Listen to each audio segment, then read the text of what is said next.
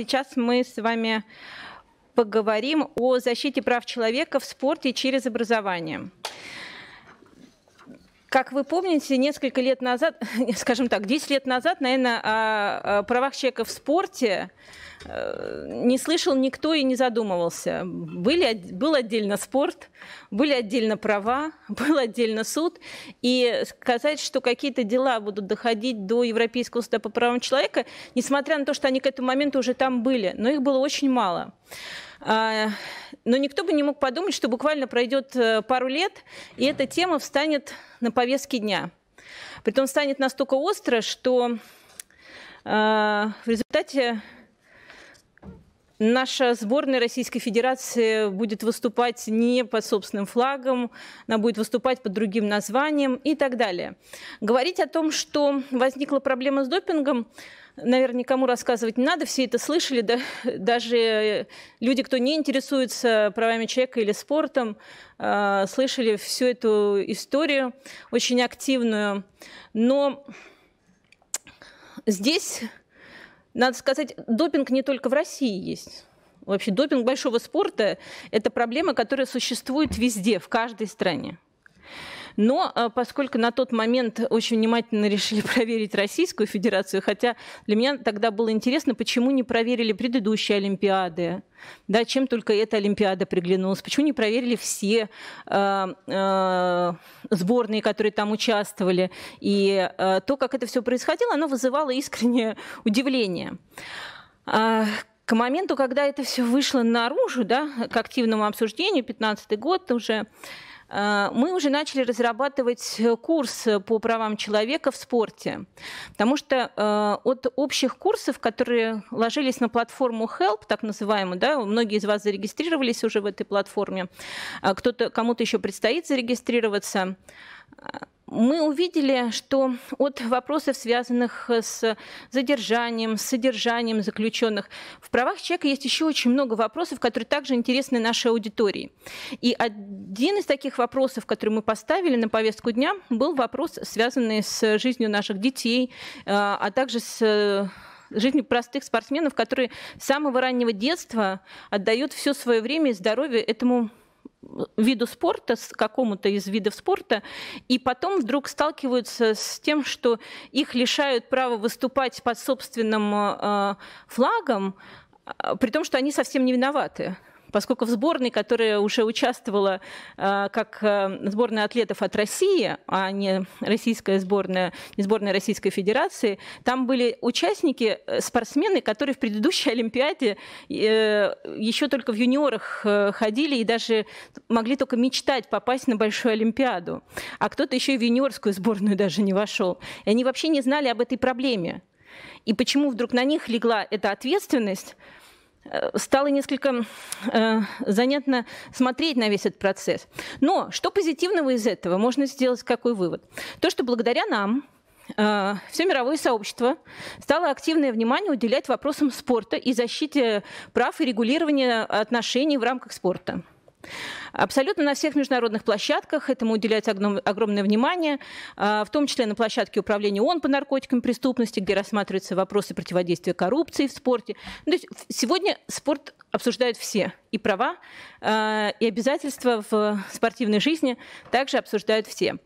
А, поэтому мы сейчас, я не буду долго занимать ваше время, и попрошу подключиться снова Страсбург, Елена Юркина, который соавтор курса и это тот человек, с которым мы начинали разрабатывать курс «Права и обязательства в спорте». И э, вот история этого курса такова, что нам пришлось убеждать даже э, Совет Европейскую платформу э, о том, что эта проблема есть. И когда первое было сделано такой чекап а, по делам, которые вообще есть э, в этой сфере, выяснилось, что дел так очень много. Но а, одна проблема, которая есть, то, что эти дела не разрешались к моменту, они лежали там 10 лет уже к моменту, когда мы начали заниматься, и никто не, а, не решался, видимо, вынести решение, постановление по ним. Но, тем не менее, последние годы вот это внимание, которое привлекли, э, вся общественность привлекла к этой проблеме, и появились дела достаточно активно пошли. Не знаем, это является э, заслугой в том числе нашего курса или нет, но э, то, что в результате этот курс стал одним из самых популярных во всем мире, и здесь надо отдать должное, что инициировала его именно Российская Федерация на площадке Совета Европы, и мы же его представляли в качестве ключевых участников этого курса.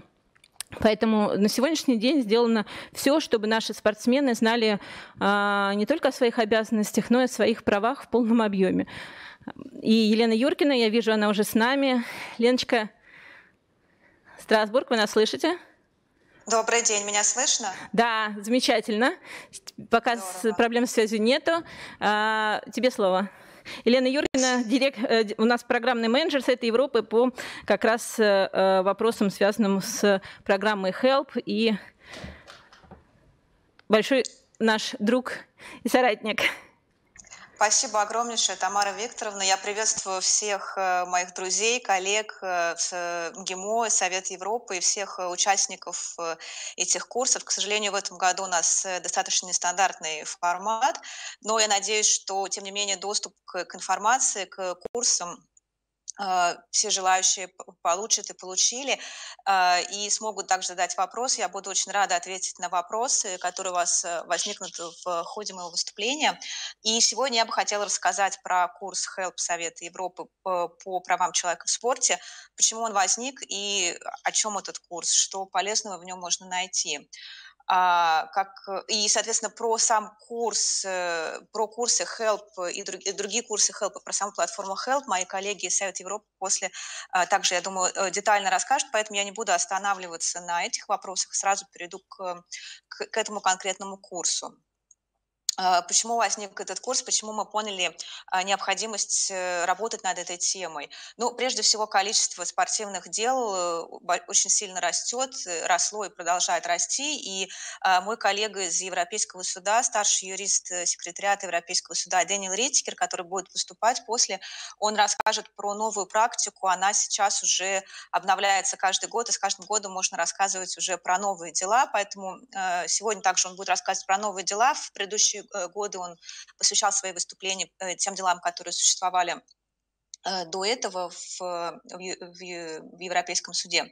И наблюдая вот этот рост количества дел, связанных с одной большой проблемой, связанных с судебным рассмотрением судебными спорами в спортивной области. И второй категория дел – это другие дела, которые приходили из мира спорта и были связаны с какими-то конвен... Э, статьями конвенции, но не подпадали именно под судебный процесс, статью шестую.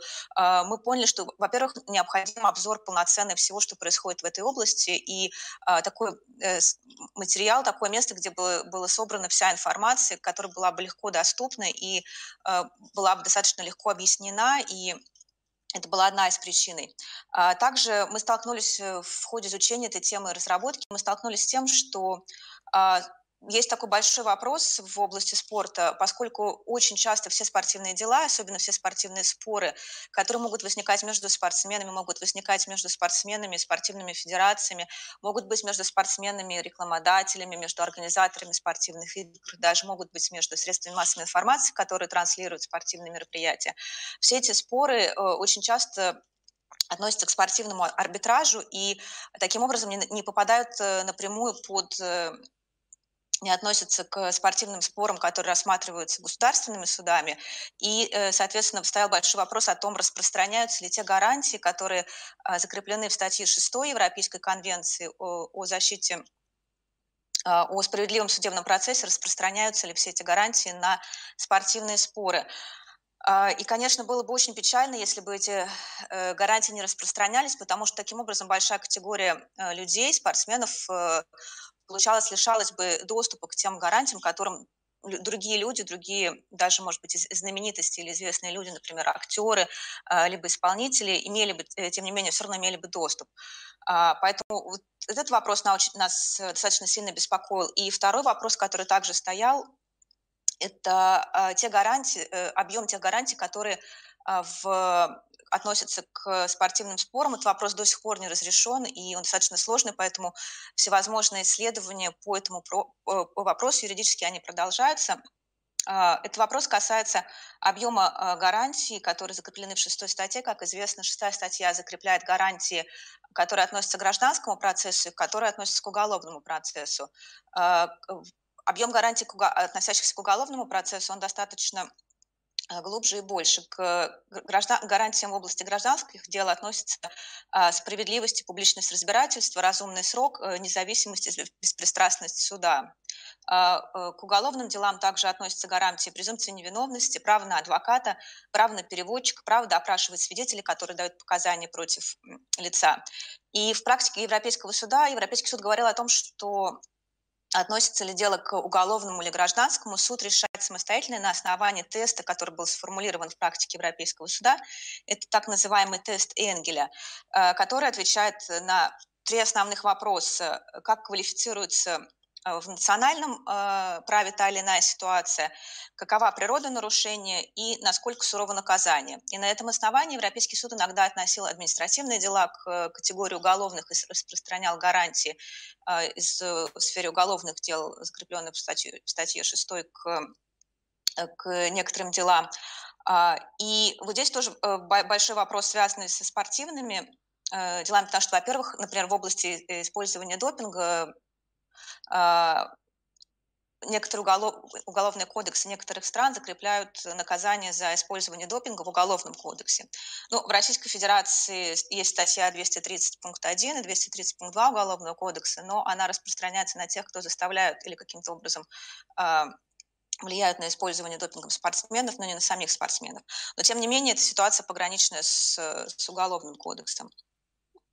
Также интересный вопрос, который здесь возникает, э, связан с тем, что, например, в уголовных делах предусмотрена презумпция виновности, э, невиновности, а как раз в спортивных делах предусмотрена презумпция виновности, и э, спортсмен, в организме которого обнаружены э, вещества, относящиеся к категории допинга, должен доказывать, как они туда попали, и что не было его вины. А, в этой области, конечно, спортсменам иногда удавалось достаточно интересно доказывать.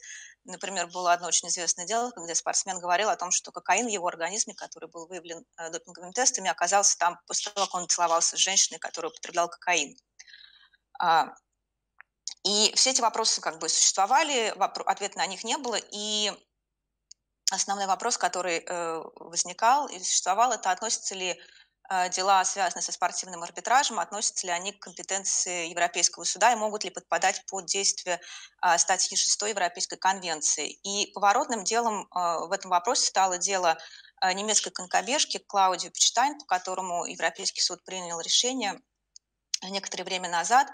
И э, ключевым вопросом в этом решении э, было указание на то, что поскольку Клаудио Пичтайн не было абсолютно никакого выбора, когда она подписывала соглашение Э, со спортивной федерацией, и любые споры относились по этому соглашению к э, юрисдикции арбитражного суда в Лозанне, то, соответственно, э, такой судебный процесс, который был навязан ей, должен регулироваться теми принципами, стандартами, которые закреплены в статье 6 Европейской конвенции.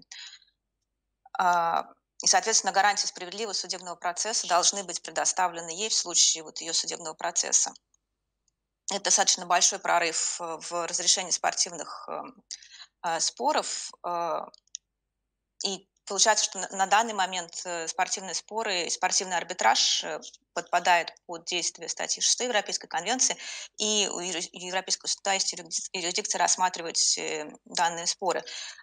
Соответственно, в связи с этим появилось и будет появляться, мы думаем, большое количество спортивных споров, которые также будут рассматриваться Европейским судом. И, собственно, для обобщения всех этих вопросов, для обобщения всех аспектов, связанных со спортивной тематикой и правами человека, какое-то время назад совместно с МГИМО, с Министерством спорта мы начали разработку вот этого курса. И сейчас я хотела бы рассказать вам а, то, что в этом курсе содержит содержание этого курса. Он состоит из девяти основных модулей, и проходить модули и знакомиться с ними можно как по отдельности, так и все вместе. Они разделены а, тематически.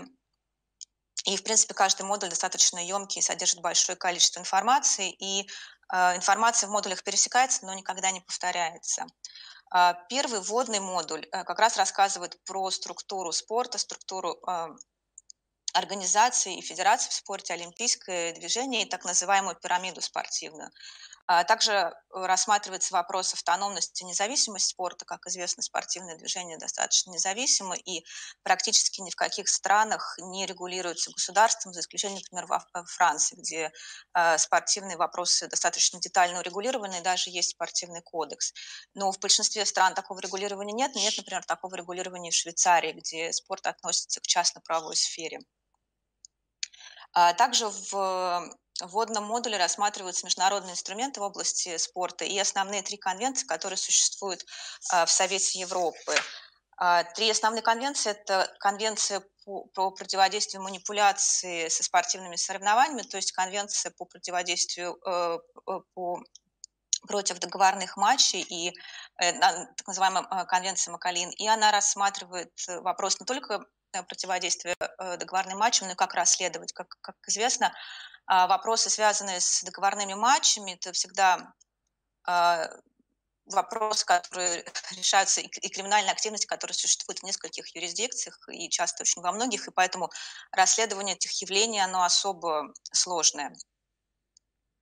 А вторая конвенция – это конвенция, посвященная безопасности, защите и обслуживанию во время спортивных мероприятий. Конвенция Сан-Дени, она как раз посвящена организации спортивных мероприятий, обеспечению безопасности во время спортивных мероприятий, потому что, к сожалению, а, достаточно печально существует опыт э, связанный с, с гибелью болельщиками, э, болельщиков во время, например, давки э, на стадионах, либо с какими-то другими неприятными инцидентами, которые э, подвергают угрозу жизни а, болельщиков. И также конвенция эта посвящена э, защите и обслуживанию во время спортивных мероприятий для того, чтобы сделать опыт болельщиков наиболее приятный, потому что э, опыт от посещения стадиона – это очень важная часть э, жизни и опыта болельщиков, и принимая во внимание рост количества болельщиков, насколько э, сегодня все больше и больше людей вовлечено в спорт не только как зрители, но и как участники сами, э, эти аспекты, они очень важны. И третья конвенция Совета Европы – это конвенция против применения допинга. А, это, вот, это, этому спектру вопросов посвящен э, вводный модуль э, курса HELP Э, по защите прав человека в спорте. А, а второй модуль, который является первым, на самом деле, э, посвящен как раз самому основному и такому важному вопросу. Это справедливый процесс и справедливый э, спортивным спором и а, арбитражу. Здесь рассматривается спортивный арбитраж как процесс, и те вопросы, которые я до этого рассказывала, связаны с статьей 6, рассматривается функционирование спортивного трибунала в Лозанне, как он действует, как в него попадают жалобы, как они проходят, какие есть э, инструменты и какая процедура рассмотрения жалоб. А также отдельно рассматривается вопрос, как и почему жалобы после прохождения арбитраж в Лозанне может попасть в Европейский суд. Это происходит благодаря специфике швейцарского законодательства, и э, решение Лозанского арбитража может быть оспорено в Федеральном э, суде Швейцарии, после чего может, жалоба может попасть э, в Европейский суд. Поскольку подавляющее большинство спортивных споров рассматривается в Лозанне, то жалобы, связанные с спортивными спорами, очень часто подаются против Швейцарии но не только против Швейцарии, есть также другие а, страны, против которых подаются жалобы. Например, я думаю, что мой коллега Дэниел расскажет сегодня про э, свежие турецкие дела, а, касающиеся спортивных споров.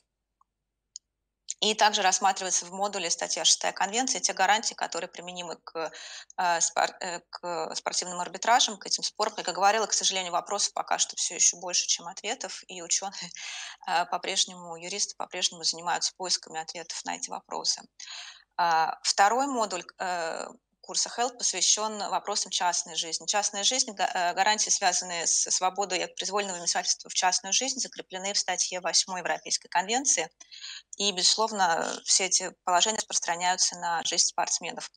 А в случае с знаменитостями очень часто возникает вопрос о вмешательстве в их частную жизнь, например, средствами массовой информации, которые публикуют э, новости про жизнь э, известных людей, в том числе это часто происходит э, в отношении спортсменов. И здесь очень часто возникает вопрос о балансе между необходимостью защиты частной жизни от вмешательства и необходимостью проявление публичного интереса в отношении некоторых вопросов, которые являются действительно важными для общества, например, применение допинга, применение наркотиков, либо какие-то незаконные действия, а, про которых общество должно, безусловно, знать и быть в курсе. И в этом модуле рассматриваются как раз дела, и рассматривается, как Европейский суд искал баланс э, в некоторых таких делах э, спортивных. Например, описываются дела, связанные с публикацией фотографий очень личного характера с вечеринки бывшего руководителя Формулы-1, либо публикации о разводе немецкого футболиста, в котором статья была посвящена не только факту его развода, но также были опубликованы дети, э, фотографии его несовершеннолетних детей, чью публикацию он пытался оспорить.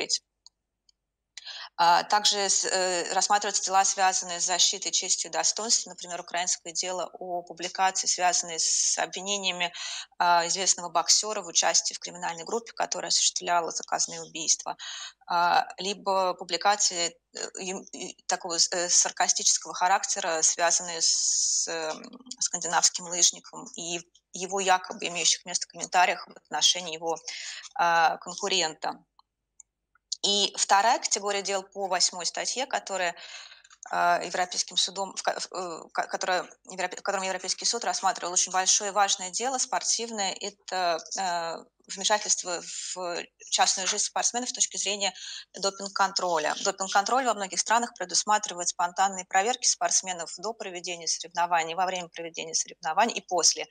И для этого спортсмены должны сообщать о своем местонахождении антидопинговым агентством. И, а, по сути, в течение какого-то определенного времени у спортсменов пропадает свобода выбора, э, куда они могут направиться. Например, спортсмены не могут э, спонтанно собраться, уехать на дачу, если они об этом заранее не предупреждали антидопинговое агентство.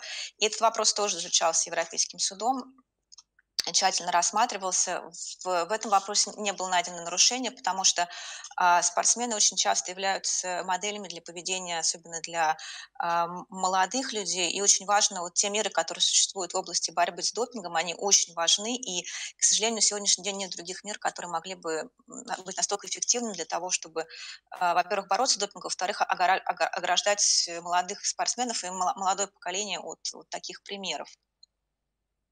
А третий модуль э, курса посвящен статьям 2, 3 и 4 Европейской конвенции. А статья 2 закрепляет право на жизнь, и здесь в основном рассматриваются обязательства властей по проведению эффективного расследования. А, в частности, это связано с событиями, обычно, когда происходят э, массовые э, массовая гибель людей. Например, очень ярко известное дело – это трагедия, которая произошла в Хилсбурге в 1989 году, когда на стадионе в результате давки погибло э, порядка 96 болельщиков. Давка произошла по, из, из-за э, неадекватных и неправильных действий полиции, которые не открывали коридоры для прохода наплывающей э, толпы фанатов, а сдерживали толпу, и в результате была вот вызвана давка и гибель. А, ну, и это не единственный случай, когда вот такие мероприятия происходили. Безусловно, а, уроки были учтены и были приняты определенные меры, но помимо вот исправления также необходимо эффективное а, расследование произошедшего. Статья 4 Европейской конвенции «Принуждение к труду» и в основном здесь э, вопросы, связанные с трафикингом людей. А, хотя проблема трафикинга существует, она очень большая. Трафик, дел, связанных с трафикингом в спорте, э, пока что не было еще в Европейском суде, не рассматривалось. А, поэтому в этой части модуля рассматриваются дела по аналогии, связанные с трафикингом. А следующий модуль, э, четвертый модуль курса рассматривает дела, связанные со статьей 5, 10 и 11 Европейской конвенции. Пятая статья – это ограничение свободы, и здесь много дел, немецкие, датские, хорватские, связанные с принудительным содержанием фанатов, которые, по сведениям полиции, могут вызывать и провоцировать столкновения среди фанатов э, после проведения в основном футбольных матчей. И очень часто полиция их арестовывает, иногда бывает без оснований, либо с недостаточными основаниями для того, чтобы удерживать их э, во время футбольного матча. Вот эти вопросы также рассматривались Европейским судом. И соответствующие дела, их описание, выводы и логика суда проанализированы и приведены в, в этой части модуля. А, десятая статья связана с свободой слова. Она касается высказывания фанатов. Бывает, что после проведения например, футбольных, опять же, матчей а, футбольные игроки иногда были случаи, когда они скандировали какие-то агрессивные, даже порой фашистские слоганы э, после матчей. И здесь тоже их штрафовали или привлекали к ответственности, и Европейский суд рассматривал с точки зрения свободы слова такие жалобы. И также здесь э, перекрестно с модулем, посвященным восьмой статье, рассматривается баланс между свободой слова и свободой э, частной жизни и ограничениями на вмешательство в частную, в частную жизнь.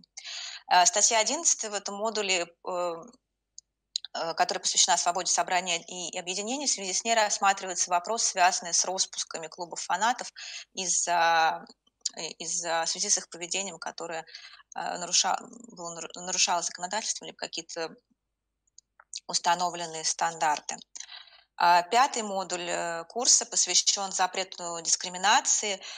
А, здесь э, вопросы, связанные с гендерной дискриминацией. Очень интересный вопрос, который вот сейчас актуальный на повестке дня, связанный с южноафриканской бегуней Кастер Семени, который, я не знаю, если кто-то из вас слышал, она по э, показаниям э, гормональным, ее гормональный фон намного выше, чем гормональный фон у женщин, и поэтому ей в какой-то момент после проведения анализов э, сказали, что она должна либо медикаментозно обязана снижать э, уровень своих гормонов до уровня, который стандартно существует у женщин, либо она может э, соревноваться лишь только с мужчинами в спортивных соревнованиях. Она недавно проиграла это дело в Лозаннском арбитраже, и, возможно, сейчас будет также дальнейшее развитие с этой жалобой.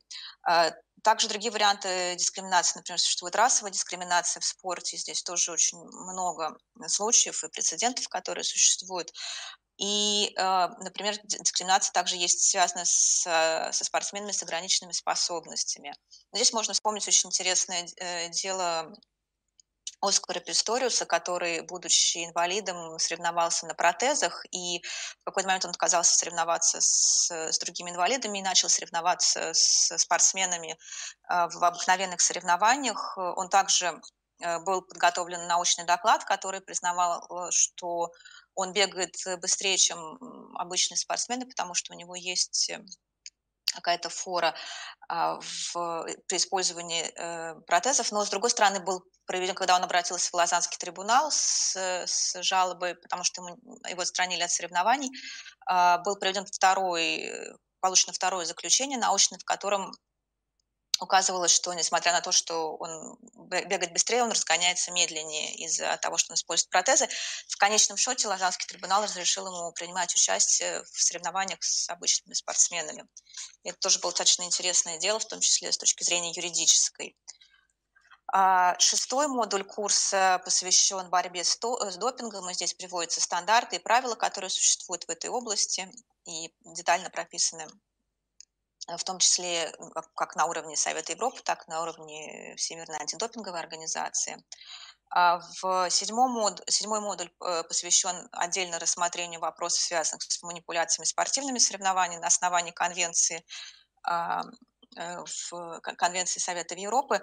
А, в принципе, на сегодняшний день практически не было дел э, в Европейском суде, связанных с манипуляцией спортивными соревнованиями, но было косвенно одно дело, которое как раз было связано с рассмотрением, с, э, процесс, с процессом рассмотрения дела в Лазанском трибунале, точнее не в Лазанском, а в, национальных, э, в Национальном турецком суде. И вот Дэниел расскажет, я думаю, он будет упоминать это дело а, поподробнее в его выступлении. Ну и, в принципе, манипуляция спортивными соревнованиями тоже становится очень актуальной. Я, я, я думаю, вы слышали, наверное, сейчас тоже есть вопрос, связанный с, с обвинениями российской э, теннисистки на Ролан в потенциальной возможности участия в договорном матче из-за того, что из-за очень высоких ставок на одну из игр, в которой она принимала участие. А восьмой модуль, это заключительный модуль в курсе, посвящен как раз безопасности, защите и обслуживанию во время спортивных соревнований. Он тоже основан на Конвенции Совета Европы и практике Европейского суда, которую я описывала выше, по эффективному расследованию всех инцидентов, которые происходят на стадионах. А, это краткий обзор того, что содержится в модуле. Он доступен для всех желающих, находится в открытом доступе на платформе Help. На сегодняшний день он существует на английском языке, и в данный момент проводится его обновление, потому что практика в том числе Европейского суда, меняется очень быстро, поэтому нам приходится обновлять курс достаточно часто. А, существует перевод курса на российский и на французский, и э, он будет доступен после того, как обновленный курс на английском языке будет опубликован. Мы ожидаем, что это произойдет буквально э, со дня на день.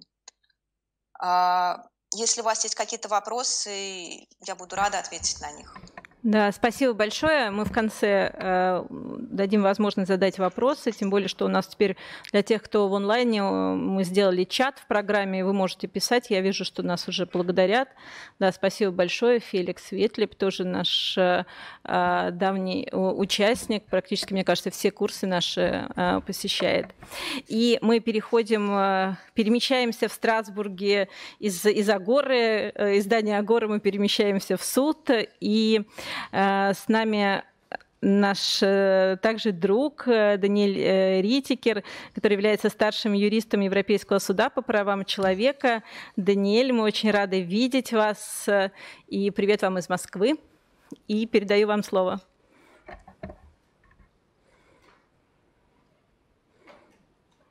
Okay. Hello, can you can you hear me? Yeah. It's okay, Daniel. Okay.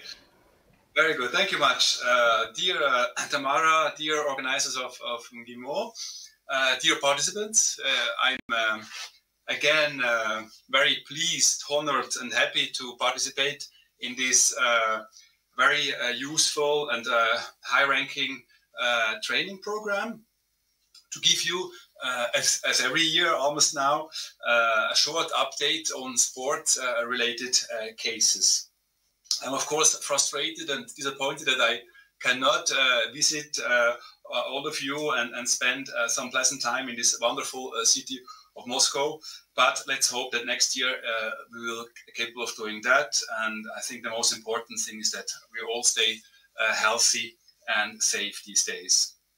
Today, I basically talking about two cases which came up both in the beginning of this year. There are uh, very important cases in the field of sports. Ali Riza against Turkey, a judgment of January 2020, and Michel Platini, of course, everybody knows knows him, uh, a decision on inadmissibility in March 2020. So this second case, Michel Platini was declared inadmissible in March 2020. Nevertheless, it is, um, I would say, a groundbreaking uh, uh, decision. That's why I will uh, spend some time on it. But let's start with the with the first case, Ali Riza and others versus Turkey. Uh, this is a, a, judgment of 28 January of this year. Um, it is about the independence and impartiality of arbitration bodies before the Turkish Football uh, Federation. So it's, we're talking about less about the CAS, the Court Arbitration for Sport here. We're talking about the national um, federation its uh, arbitration bodies. So in this case, first the facts. In this case, the first applicant is uh, Ömer Kerim Ali Riza, which is a British and Turkish national who was a professional football player for Trabzonspor, a club in the top Turkish professional league. Uh, so those of you who, who like football, uh, they might know this club, Trabzonspor in Turkey. He returned to England, his home country, in 2008, and the club brought proceedings against him with the Turkish Football Federation for breach of contract. In his defense, he submitted that the club owed him salary and match appearance fees. The Turkish Football Federation arbitration committee ultimately found in 2009 that he had wrongfully terminated his contract and uh, fined him with approximately 62,000 uh, euros. He then applied to the CAS and to the Swiss Federal Tribunal, but those proceedings are uh, part of a separate application which the court has not decided it. So we're talking about the uh, purely Turkish uh, proceedings today, which were decided separately by the court. So this was the first applicant, the professional football player. It's important. We have fifth, uh, five applicants. Second, third, and fourth applicants, this is important. They are Turkish amateur football players. They don't do their money out of playing football. Proceedings were brought against them with the uh, Turkish uh, Football Federation when they were accused in 2010 of ma- match fixing during an important end of season match for their team. In the first instance decision by the Amateur Football Disciplinary Committee of the Turkish Football Federation, it was found that the applicants had committed the disciplinary offense of influencing the match result and were banned from any football related activities for one year. This ruling was then uh, unanimously upheld by the arbitration uh, committee of the Turkish uh, uh Football Federation. The last applicant, the fifth applicant, Serkan Akal, is a Turkish football referee. He lodged an objection with the uh, Federation Arbitration Committee in 2015 about the Federation's decision to downgrade him from top level assistant referee to provincial referee. Uh, so he was a, a professional um, referee, he was downgraded to provincial referee. The committee dismissed this objection, finding that his downgrading had been in accordance with the law and procedure. What were the three, the five applicants uh, complaining about? Actually, they complained uh, about the same, relying on Article 6, paragraph 1 of the Convention. All five applicants challenged, in particular, that the proceedings before the arbitration committee within the Turkish Football Federation had lacked independence and impartiality. Now to the, uh, the judge's verdict. First, the court had to uh, examine whether Article 6, whether uh, the guarantees of Article 6 are applicable. First of all, it had to determine whether Article 6 was applicable. Regarding the amateur football complaints, this is quite important, the court rejected them as inadmissible because that provision was not applicable to the proceedings against them. In particular, at the time of the events, influencing a match result was only a disciplinary offense under Turkish law involving the risk of a three, three years ban and did not concern the determination of a criminal charge under Article 6. The proceedings would neither come under the scope of civil, civil rights and obligations within the meaning of Article 6, paragraph 1, because domestic law stated that amateur football players were not remunerated and as a result, their right to exercise a profession was not at stake. Uh, it's quite interesting. Contrary to a professional football player who earns his, his, his living out of it, amateur football player cannot uh, rely on Article 6 because uh, these kind of proceedings, disciplinary proceedings, are not um, uh, criminal proceedings. And since they don't earn money or they don't uh, make a living out of it, it, it cannot be, um, Article 6 cannot be applicable in its civil limb as well. It's quite important. So regarding the professional football players, so Ali Riza and the referee complaints, the court observed that at the time of the applicant's proceedings, the arbitration committee had exclusive and compulsory jurisdiction over the respect, respective football disputes brought by uh, Mr. Uh, Ali Riza and Mr. Akal. It also stressed that their rulings were final and not amendable to, to uh, review by any courts. As such, it had to provide the same guarantees as guaranteed uh, under Article 6 of the Convention. This provision was therefore applicable. So what we have seen already in the Mutu and Pechstein case, 2018, also counts here. Uh, Article 6 is fully applicable to those proceedings. But interesting, here we are talking about the uh, proceedings before uh, national federation, not before CAS or, or the Swiss Federal Tribunal. On the merits, so how did the court decide on the merits? First, a small um, reminder, but important, on the, on, the, on the nature of the arbitration proceedings in this case. Um, the court said or uh, reiterated that in the light of its findings in, in Mutu and, and Pechstein, 2018, the court considered that the sui generis nature of football disputes or sport disputes and the special features of the dispute resolution mechanism of the arbitration committee was not sufficient to deprive the applicants of the protection of a fair proceeding uh, offered by Article 6 of the Convention. So even if we're talking about quite specific proceedings in the field of sport, they cannot be completely excluded from the scope of the European Convention of Human Rights. As a result, the court considered that the proceedings before the arbitration committee were compulsory arbitration proceedings, compulsory important arbitration proceedings, and therefore had to afford safeguards provided for under Article 6 of the convention. So applicable Article 6 and fully applicable. This is the very important uh, message here. And then the question remains if there was a, violation of Article 6, and we're talking about independence and impartiality uh, of, of, uh, uh of these uh, bodies within the uh, Football Federation. Here, the, um, the court uh, repeated some, some principles. I don't have time to uh, repeat all of them. Just for instance, uh, paragraph 196. In order to establish whether a tribunal can be considered to be independent within the meaning of Article 6, paragraph 1, regard must must be had inter alia to the manner of appointment of its members, the manner of appointment of its members, and the term of office, the existence of guarantees against outside pressure, very important later, and the question whether the body presents an appearance of independence. And in this line, paragraph 199, in this connection, even appearances may be of a certain importance, importance or, in other words, there's an English in English maxim, justice must not only be done, it must also be seen to be done. So what is at stake is the confidence which the courts in a democratic society must inspire in the public. So it is really important how the uh, the athletes or, or, or, or players could uh, perceive um, the independence and impartiality of a tribunal, even an arbitration tribunal.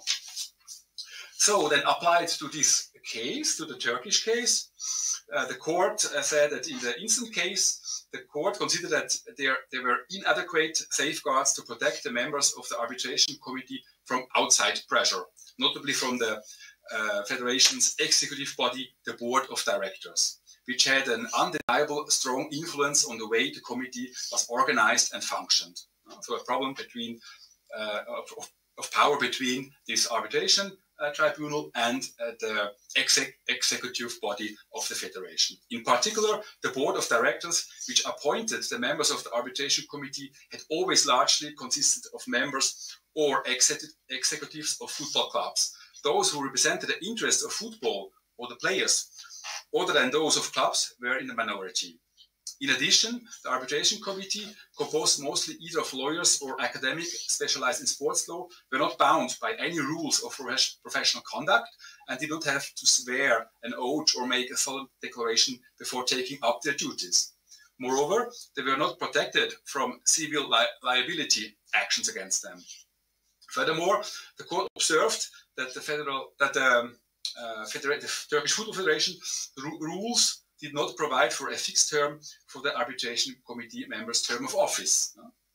Their mandate was the same as the board of directors, which meant that their tenure was unduly aligned with the ex executive body.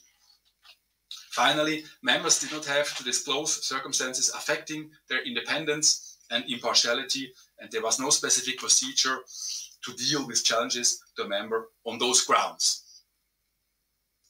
So, for the two applicants, the court con concluded, therefore, regarding Alderisa, the professional football player who was involved in a contractual dispute with his club, that the balance had been tipped in favor of the football club, considering that at the time of the proceedings against him, all members of the arbitration committee had been appointed by the board of directors, predominantly composed of former members or executives of football clubs.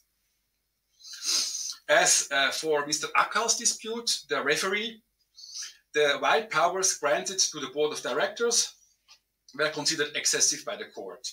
The board set the rules governing the composition, principles, and procedure of the function of the Central Referee Committee of the Federal of the Federation, the first instance body which had decided on the case. As a matter of fact, the Federation's rules required that the list of referees prepared by the Central Ref Referee Committee had to be submitted to the Board of Directors prior or for prior approval. So, conclusion in conclusion, the applicants had had a le legitimate reason to doubt that the arbitration committee members, in the absence in the absence of adequate safeguards protecting them against outside pressure, in particular from the board of directors, would approach their case with the necessary independence and impartiality. So it's really a case about about um, appearances. Eh? There's there's no subjective um, independence, or, independence or, uh, uh, partiality or uh, dependence uh, uh, claim. It's really more about the, the, guarantees offered by the system, which were uh, lack, um, lacking here. There had therefore been a violation of Article 6 in respect of Mr. Aldi and Mr. Akal, uh, so the football player, professional football player, and the referee. Quite interesting uh, in general is, is, the last remark on this case. Finally, it is noteworthy to observe that under Article 46 of the Convention, European Convention of Human Rights, the court noted that the violation revealed a systemic problem, systemic problem regarding the settlement of football disputes in Turkey. It considers that the state should take measures to reform the system for settling such disputes under the auspices of the Turkish Football Federation, such as restructuring the arbitration committee in view of its genuine independence from the board of uh, directors. So it is very important. When the court has uh, decided a case, this is not the end of the story. It's really more like the beginning because this this case has to be so-called executed uh, by the by the Turkish government uh, under su supervision of the Council of, of Europe's Committee of Ministers uh, with regards to Article 46 of the Convention. So this is really uh, a mechanism to to um, effectively uh, supervise if the system, the arbitration system in football, will be uh, correctly um, um, uh, corrected in future in Turkey. So this was the first case, quite an important one. Now I will jump to the second case, a bit a bit shorter, the Michel Platini case. So the uh, decision on inadmissibility uh, on of 5th of March of this year, uh, Michel Platini, which is a final decision. No? There's no appeal uh, possible. So in this decision, in the case of Michel Platini, the European Court of Human Rights has unanimously declared the application inadmissible. No, the decision is therefore final. The case concerned Michel Platini, a former professional football player, president of UEFA, and vice president of FIFA. Uh, quickly to the facts of the case, I will be shorter than before. In 2015, after a preliminary uh, investigation, the FIFA authorities initiated disciplinary proceedings in respect of an alleged salary supplement of 2 million Swiss francs that Mr. Platini had allegedly received in 2011 in the context of a verbal contact between him and FIFA's uh, president for activities as an advisor between 1998 and 2002. Uh, so allegations of having received 2 million Swiss francs, an investigation uh, started by FIFA. The applicant was initially given an eight-year suspension from all football-related activities, all football-related activities, very broad, at national and international levels, and was fined 80,000 uh, Swiss francs by the FIFA Ethics Committee. The sanction was upheld by the FIFA Appeal Committee, which reduced the length of the suspension to six years. The applicant appealed against this decision to the Court of Arbitration for Sport in, in, in Lausanne, in Switzerland, the CAS. He alleged in particular, that the articles of the FIFA Code of Ethics relied upon had not been applicable at the time of the relevant acts and that the sanction appeared excessive. The CAS rejected this complaint but reduced at least the suspension period from six years to four and the fine from 80,000 to 60,000 Swiss francs. The applicant lodged a civil law appeal against the CAS uh, decision before the Swiss Federal Court, which upheld that decision, holding that in view of the applicant's age, he was 61 in 2015, the length of the suspension of four years did not appear um, excessive. Uh, Michel Platini uh, did uh, three complaints, submitted three complaints to the, to the court, relying on Article 6, fair, uh, fair hearing uh, of the European Convention on Human Rights. The applicant complained that the disciplinary proceedings and the CAS proceedings had been uh, unfair.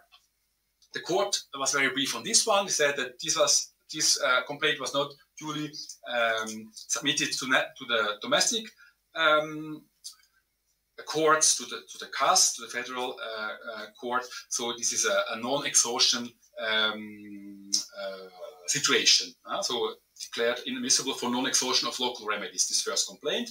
Under Article 7, no punishment without law, Platini complains that in prohibition that the prohibition on re retrospective application of law had been breached at, uh, as the rules in force of the relevant time between 2007 and 2011 had not been applied correctly. Here, the court was also quite uh, brief, saying that we are talking here about um, disciplinary proceedings. So uh, Michel Platini could not rely could not rely in his uh, application to the court on Article 7 of the, uh, of the convention. Uh, lastly, and this is the most uh, promising um, uh, complaint, lastly, relying on Article 8, right to respect for private family life, he argued Platini argued that the four-year suspension was uh, incompatible with his freedom to exercise a professional activity, and also is a, um, interference to his right to have a, a, good reputation. This was also a part of this complaint. So this is, uh, uh, I would say, the main complaint, or let's say the, the main uh, complaint that the, the, court was, was dealing with. Um, Article 8, the right to respect for private and family life, very briefly, the court said in this regard. Uh, first, again, the applicability of Article 8 uh, is Article 8 is really applicable here. The court uh, reiterated that the concept of private life was a broad and non-exhaustive one. In this instant case, the sanction imposed on the applicant had been based on acts committed in his professional life which had no connection with his private life. So why should Article 8 be applicable? However, the court acknowledged that the negative repercussions, the consequences, had affected his private life. The court thus accepted that the applicant has, has established that those consequences reached a certain threshold of seriousness. He had spent his entire career in the world of football, which therefore constituted his, his sole source of income, and he had been deprived of that source. Student Michel Platini, everybody know, everybody who knows him knows that he is really uh, football related. The scope of the sanction was such that it was capable of preventing him from developing social relations with others, Lastly, his reputation had suffered as a result of the sanction, in the sense of a certain stigmatization. For these reasons, he could therefore rely on Article 8 uh, of the Convention. So the Uh, Article 8 of the Convention, right to respect for private life, was therefore applicable in this case. But on the merits, as I said before, the court de declared the case inadmissible. Why? For these reasons, the court examined whether the respondent state had complied with its positive obligation to protect the applicant's rights to respect for his private life vis-à-vis the sanction imposed by FIFA, which was reduced but confirmed by the CAS, and in particular whether the applicant had been afforded sufficiently judicial safeguards. Here again, we're talking about judicial safeguards. No? And it's interesting, we're talking about private actors. FIFA is a private actor, so the court had to use its, its uh, theory of positive obligation, because you, you, all know that human rights traditionally only bind uh, state authorities. So how can FIFA be held accountable uh, for, for this kind of, of interference in human rights? The court noted that the applicant had ex expressly accepted the jurisdiction of the CAS, excluding therefore the possibility of submitting disputes to an ordinary domestic court. He had therefore been able to appeal against the measures imposed by FIFA before the CAS. The CAS itself had duly reasoned its decision to reduce but confirmed the sanction in a 33 page decision responding to the applicant's complaints. It had held, among other things, that the particular seriousness of the facts, the senior position held by the applicant, and the need to restore the reputation of football and FIFA justified the four year suspension from professional activity. Lastly, the applicant had lodged a civil law appeal in the federal court against the CAS decision, the Swiss federal court. The federal court had likewise upheld the previous decisions, finding the sanction to be well founded and duly reasoned. Consequently, the applicant had been afforded sufficient institutional and procedural safeguards. The court therefore dismissed Article 8 complaint, declaring it manifestly ill founded in the decision on 11th of February 2020. Some conclusions um, to, on these two cases, very briefly, if you allow. What is important about these cases? So these two cases are extremely important because the court confirms several points that had been uh, already uh, stated in the Mutu and Pechstein decision of 2018, but it also goes even further. First of all, the court uh, confirms that it has jurisdictions to examine sport-related disputes, even when they are when they are posed to private uh, parties, uh, players, athletes against uh, sports governing bodies such as FIFA. This is quite important. It also confirmed that uh, arbitration proceedings are basically compulsory proceedings in the, in the field of sport and um, that they have to comply with Article 6 of the Convention and now new Article 8 of the Convention as well. It uh, confirmed, this is the uh, outcome of Ali Riz, I would say, the most important, it confirmed that, that national arbitration proceedings proceedings within national federations have to comply with Article 6 as well. Uh, Mutter Pechstein, again, were, uh, um, de was dealing uh, with the CAS and the Federal Tribunal uh, proceedings. Here we have uh, basically uh, proceedings for national um, federations. And those bodies have to be fully independent and impartial. Another point, which I already mentioned, through its execution of judgment, the, the, Council of Europe, the Committee of Ministers, can ensure that such a, a judgment will also be effectively implemented and that uh, um, st structural deficits will be remedied. Finally, what is the takeaway from the Platini case? I think the most important is, aspect is that it was the first time that the court, our court, had to examine the compatibility of arbitration proceedings with Article 8 of the Convention, with the procedural guarantees of Article 8. Huh? Mutu Pechstein was Article 6, but here we have the first case where Article 8 was at stake with regards um, procedure, uh, arbitration proceedings. This is far from self-evident. Why? Because since the, since the measure of which Platini complained was imposed by a private actor, FIFA and human rights uh, do traditionally only apply to states authorities. Uh, this is not self-evident. This is quite uh, something the court had first uh, to come up with. So this is quite uh, important uh, aspect, as I already mentioned before. So the court deal dealt with this case only because it applies its theory of positive obligations. Uh, without this theory, it would not have been be able to comply or to up to deal with this case. To sum up, it appears that our court, the Strasbourg court, remains an important and relevant uh, actor in the field uh, of sport. And uh, it seems to me that uh, human rights, not only our court in, in, in, particular, or more generally, human rights, constitute nowadays an important limitation to the uh, autonomous, some, sometimes called autonomous nature of the lex uh, sportiva. Thank you very much for your uh, kind attention. Thank you, Daniel. Спасибо большое. Вы видите, насколько динамично развивается сейчас работа суда идет, насколько динамично в этом направлении.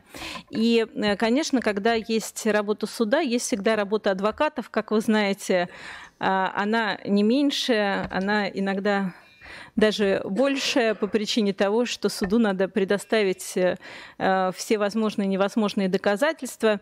И если вы помните, э, был э, такой момент в судьбе нашей наших спортсменов, когда наконец-то произошел такой переломный этап, и наконец-то наши 28 спортсменов, правильно, 28, они 28 спортсменов э, были полностью восстановлены в правах прямо перед э, началом Олимпиады.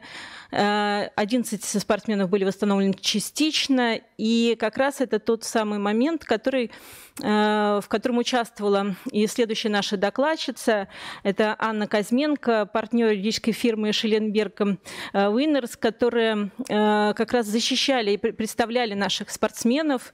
Поэтому мы с радостью сегодня видим Аню вместе с нами. Аня э, чудом оказалась тоже в Москве. Она находится в Швейцарии постоянно. И такое хорошее стечение обстоятельств для нас удачное, что Анна смогла лично э, прийти к нам. Она каждый год нас поддерживает, за что, конечно, огромное спасибо, потому что услышать э, другую сторону не менее иногда важно, нежели услышать суд. А совсем замечательно, когда две стороны друг друга слышат. И самое важное для двух сторон в этом случае было как раз обеспечение должной защиты прав э, наших спортсменов, и не только наших спортсменов, но и заложить основу для э, других э, случаев, которые могут, с которыми могут столкнуться не только российские спортсмены, а это происходит, как я еще раз повторюсь, повсеместно. Именно поэтому у компании Шелленберг достаточно большая практика по этому направлению. И, Анна, вам слово. Спасибо большое, Тамара Викторовна. Сегодня действительно большая честь и радость быть здесь, на этом мероприятии. Необычный формат. И, честно признаться, вообще первый раз в маске выступаю.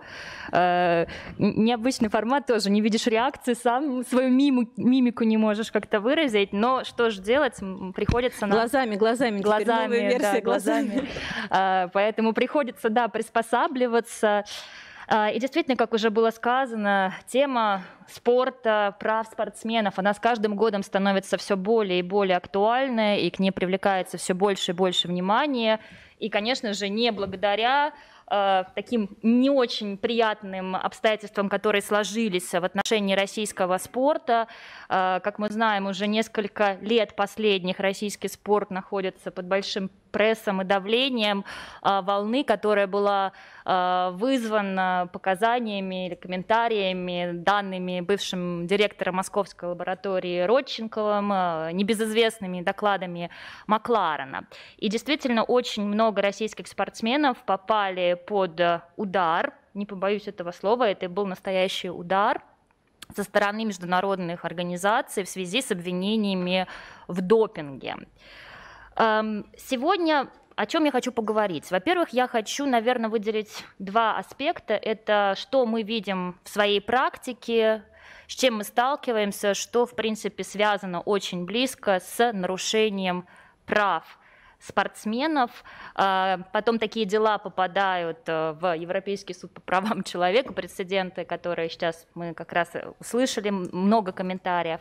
Вот. А также, если останется быстро время, я бы еще хотела бы затронуть кейс, который уже затрагивала Елена Юркина вкратце.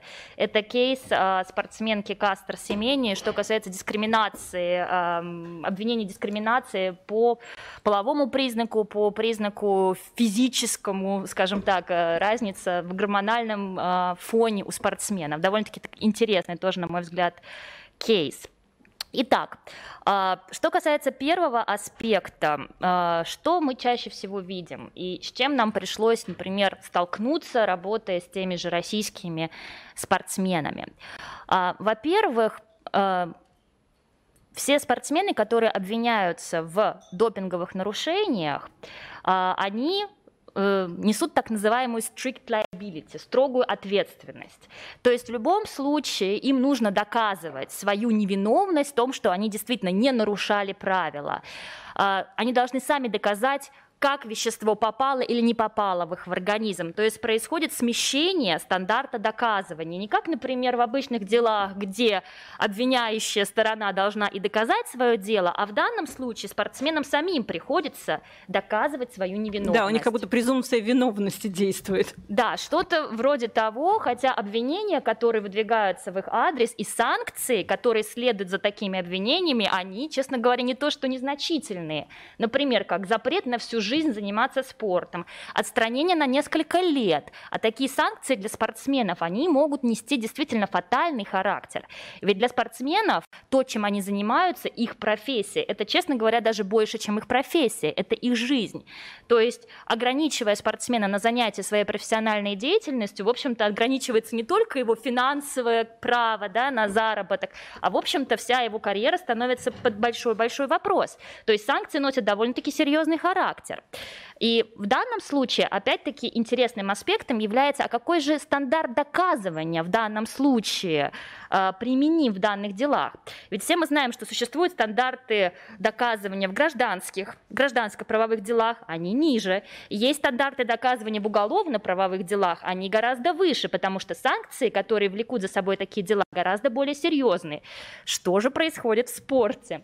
А, а в спорте происходит все таким образом. Э, как правило, э, во всех спортивных делах, связанных с допингом, по правилам применяются стандарт так называемый comfortable satisfaction. То есть это стандарт э, достаточной удовлетворенности панелью тех аргументов, которые были представлены.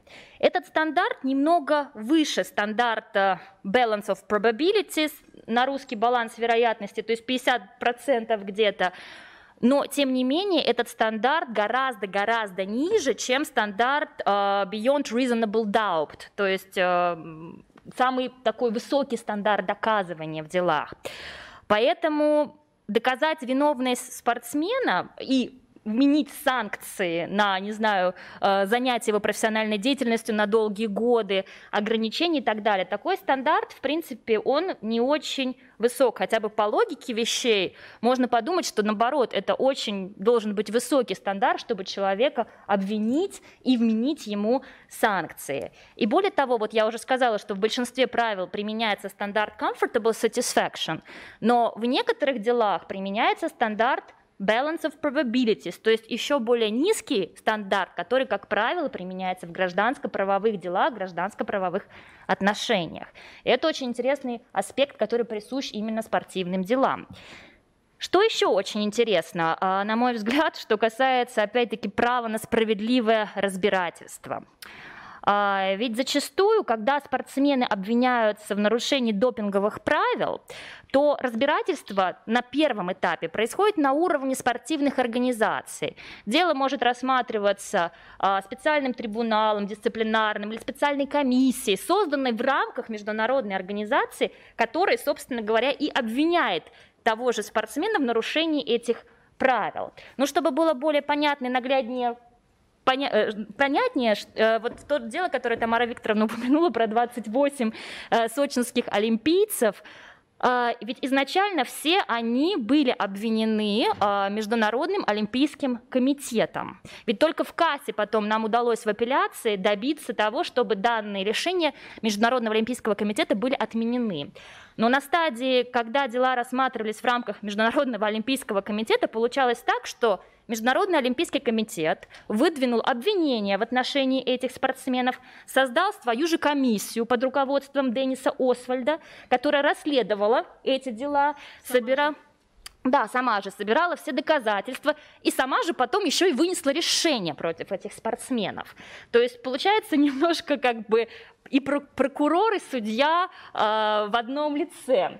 То есть здесь Защита. есть, да, то есть здесь есть немножко такое как бы смещение баланса, опять-таки. Насколько действительно такой процесс может быть справедливым, и объективным. Если действительно э, сами же международные организации, которые вменяют спортсменам санкции, занимаются расследованием таких дел и еще также слушают эти дела и выносят окончательное решение по таким делам.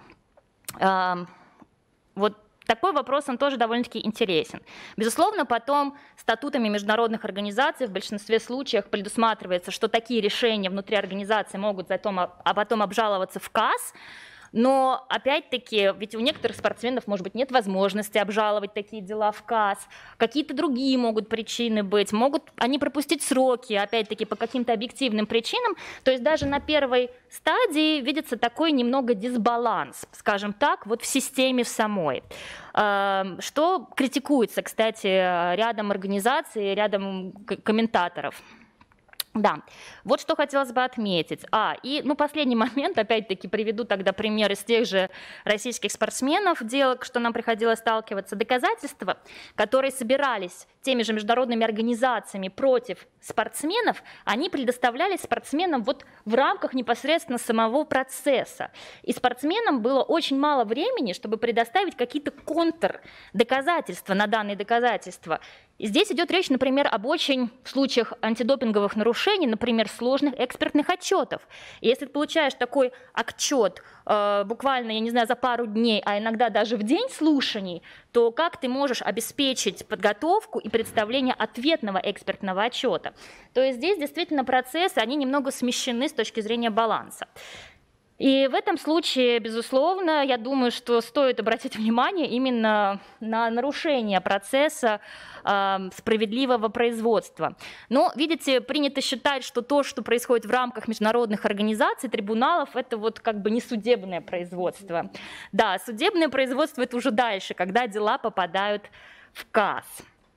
И уже затем могут они попасть после касса в швейцарский э, трибунал, это швейцарский верховный суд, да, правильно бы было бы перевести, где по правилам э, швейцарского законодательства э, можно не то что даже обжаловать эти дела, сейчас я объясню, почему это не совсем инстанция для обжалования, а туда попадают дела, которые можно отменить. То есть КАС выносит в Швейцарии, в Лозанне решение, а затем по очень-очень ограниченному ряду оснований, их буквально там пять штук, все они практически неприменимы, за исключением одного, это публичный порядок.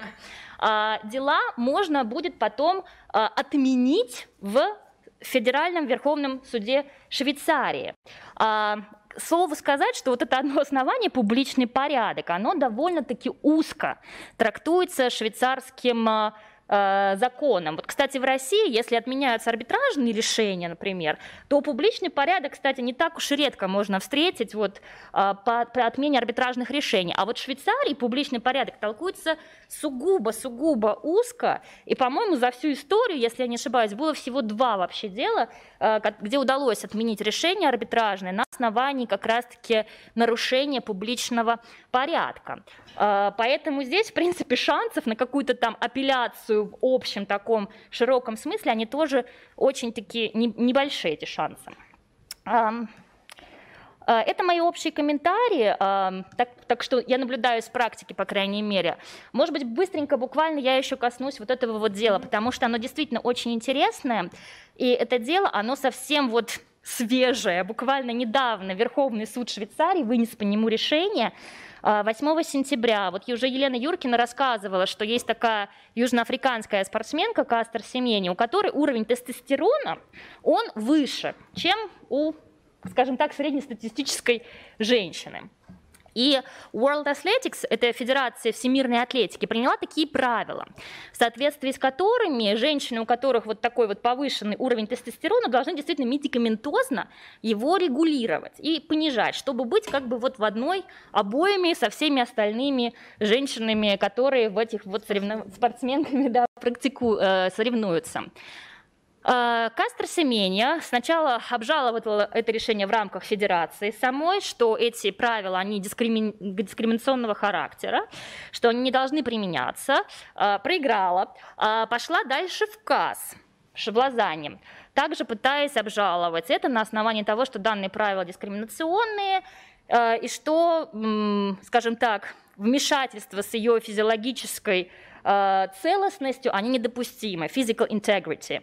А, потому что, ну что ж теперь, я не знаю, те, у кого ноги длинные, или там у, Фелпс, у Фелпса захват, он хорошо гребет, а, у кого-то еще какие-то есть а, физические особенности, да, так что ж как-то вот извне это пытаться регулировать. Это как бы с ее стороны тоже не совсем вот честно. Раз она такая родилась, ну здорово, она очень хорошо подходит для бега, значит, она хорошо бегает, и что ж, ну вот, вот так вот, да.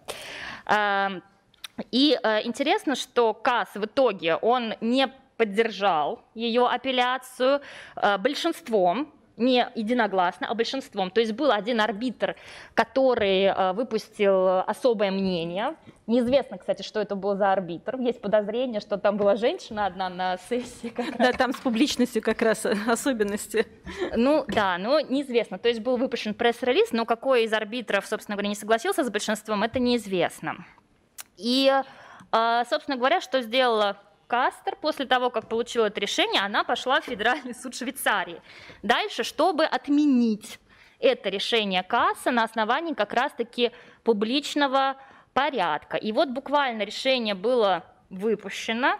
А, Федеральный швейцарский суд не согласился с ней, вот, он э, поддержал решение КАСа, что действительно оно было вынесено правильно, но опять-таки весь анализ сосредоточился, во-первых, вокруг вот этого вот основания публичного порядка, на, ну, на, на основании которого обжа, она обжаловала. То есть Верховный суд Швейцарии, он не стал изучать там полностью все обстоятельства дела, как бы деново проводить какой-то ревью, а просто вот на основании этого ограниченного круга проанализировал и пришел к выводу, что не было как, никакого нарушения публичного порядка в данном случае, что так и должно быть. Это правильный баланс для того, чтобы поддерживать так называемый integrity of sport, создавать вот всем условия. И ничего не усмотрел в процедуре КАС, чтобы было бы неправильным или что было бы manifest disregard of public order как заявил суд. То есть это должно быть действительно с точки зрения суда что-то такое вопиющее, вопиющее нарушение права. Что он не усмотрел в этом деле?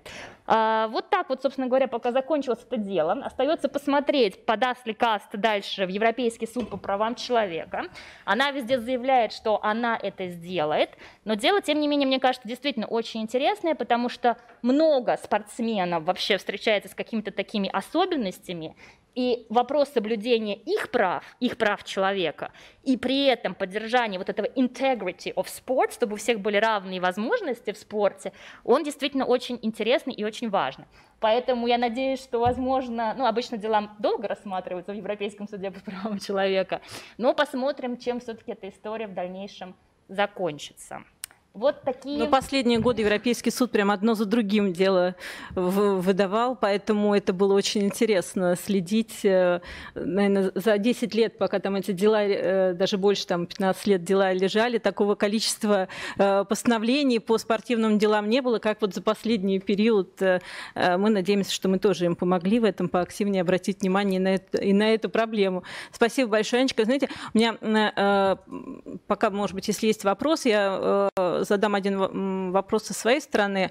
Э, ни одного дела не поступило в результате от российских спортсменов, и ни одно дело не дошло до Европейского суда по правам человека, несмотря на то, что мы, в общем-то, все усматривали прямое нарушение прав наших спортсменов, и были все основания э, пройти до э, финала, но почему-то наши спортсмены не решились на это, хотя напрямую было нарушение их прав. Э, я могу сказать, что даже вот в том постановлении КАСа да, было э, два, э, три или четыре раза упоминалось по своему собственному усмотрению. Вот да. по своему собственному усмотрению, по своему собственному усмотрению мог это решить. Что за собственное усмотрение? Сам, сам определил, сам решил. Это, конечно, совершенно не, не идет ни в какую никакому объяснению с точки зрения здравого смысла и с точки зрения э, правовой позиции однозначно. И вот, Анечка, может, к вам вопрос, да, почему вам кажется, э, наши спортсмены не дошли до Европейского суда по правам человека, довольствовались малым или э, решили, что уже и не надо? Ну, чтобы туда попасть, нужно пройти сначала. Да, чтобы попасть, нужно пройти какой-то путь, да, большой? то есть большой путь, пройти через Верховный суд Швейцарии там, или другие трибуналы оказаться. А, ну, в нашем случае-то, вот, например, а, после того, как были выпущены решения по российским спортсменам, по сочинским олимпийцам, а, МОК потом обжаловал это решение в Верховном суде Швейцарии и проиграл. Да. Вот, поэтому нашим спортсменам не пришлось дальше идти в Европейский суд по правам Но, тем не менее, были другие спортсмены, чьи права да, не были действительно, но действительно, да, это, конечно, просто очень сложный путь. Он требует и временных, и финансовых усилий. Я думаю, что, может быть, это и с этим в какой-то мере тоже связано. Но иногда надо быть решительнее, на самом деле, потому что тем самым э, мы помогаем формировать практику суда. Если нет соответствующих заявлений, нет и практики суда, а вопросы все равно будут возникать, и лучше получить уже э, самое высокое квалифицированное заключение, по которому ни одна из стран не сможет в результате нарушать эти права, э, ни в одной из стран-участниц Совета Европы. Поэтому здесь скорее, мне так кажется, что больше связано с не совсем грамотной позиции наших или правовой неграмотностью отдельных наших спортсменов, которые э, не решились пойти дальше. И э, здесь могу только пожелать им большей решительности и больше общаться с, с специалистами, вот, с, кто сидит здесь в зале. Я уверена, что э, каждый из вас заинтересован в том, чтобы права спортсменов были защищены. Есть ли вопросы какие-либо к нашим докладчикам? В зале? Если есть вопросы, можно подойти, пожалуйста. Нам просто нужно, чтобы переводчики слышали, чтобы слышали те, кто у нас э, в виртуальном зале. Спасибо. Георгий Борисов, Верховный суд. Я человек далекий от спорта. Вот сейчас э, новые идеи. Зато вы близки к суду. Это да. А, новая информация для меня была, что в КАС это арбитраж, и, соответственно, судиться в нем не бесплатно для спортсменов. Я правильно понимаю? Да. А, и а, если там высокие пошлины, то угу. помогало ли, ну вот в нашем случае, например, а, российское государство российским спортсменам, которые хотели обжаловать эти решения? Я поясню, да. А, спасибо большое за вопрос. Смотрите, что касается дел дисциплинарного характера, то для спортсменов они бесплатные. А что касается дел, которые возникают из разных контрактов, там, перехода, то есть такого коммерческого, недисциплинарного плана, как допинговые, они платные. Да, то есть все вот дела, а, ну что, что в итоге платные, это услуги адвокатов. И они, как правило, больше, чем то, что берет суд, свои пошлины. но и результат того стоит, да, потому что это либо дальше жизнь есть спортивная, либо то, чем ты занимался всю жизнь, оно заканчивается. Поэтому здесь э, для спортсменов это э, решающий фактор в их, э, не просто в их спортивной карьере, а в их жизни, чем они занимаются дальше. И очень приятно, что Верховный суд с нами.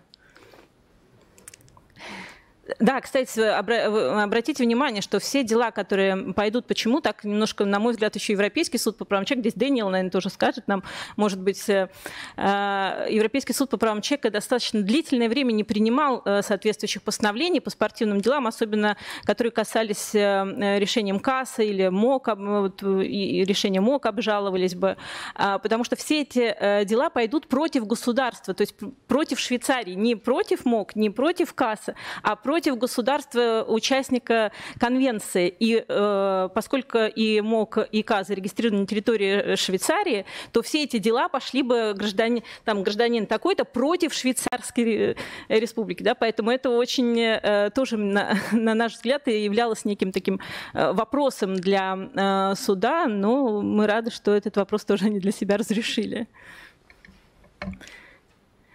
Если нет вопросов, я хотела поблагодарить участников э, нашей секции, и мы без перерыва переходим к следующей секции.